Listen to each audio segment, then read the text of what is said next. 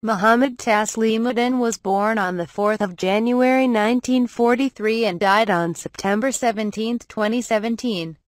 He was an Indian politician and a senior leader of RJD who was the Union Minister of State in the Government of India.